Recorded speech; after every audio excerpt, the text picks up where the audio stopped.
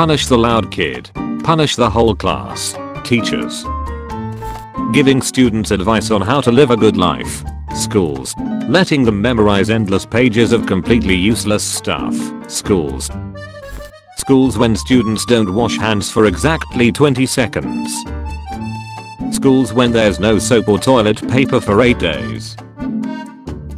School carefully adjusting the temperature of the exam room so it's annoyingly cold. Teachers be like, when you can't do your 1000 assignments for your homework. Pathetic. When you become friends with the teacher, but still fails you. I offered you friendship, and you spat in my face. When you know that failing school makes you the cool kid. They love me. Teacher, don't worry, the test isn't that confusing. The test